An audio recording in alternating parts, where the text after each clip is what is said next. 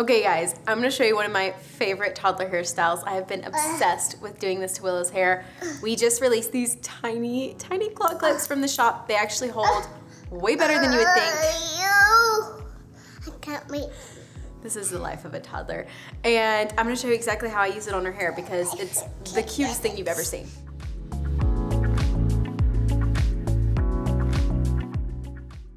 We're gonna gather all the hair towards the back of her neck, smooth it out as much as possible, and then we're just going to start twisting it. And then we have it twisted upwards, and I'm just gonna secure right there with this claw clip, and then kind of let the rest just dangle over and kind of do whatever it wants, because she has toddler hair. It's okay if it's messy. But how cute. Can you even? It's my favorite hairstyle. And then I just let her, and then I just let her bangs stay down, and it gets messier throughout the day, but it is seriously the cutest thing I've ever seen.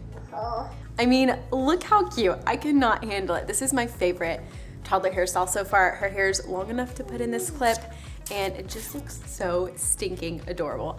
And I could just eat her up because she's so cute. You're adorable. Say thank you for watching.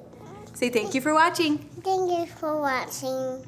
Say, I see you next time. I'll see you next time. Come back soon Come back soon and subscribe. and subscribe.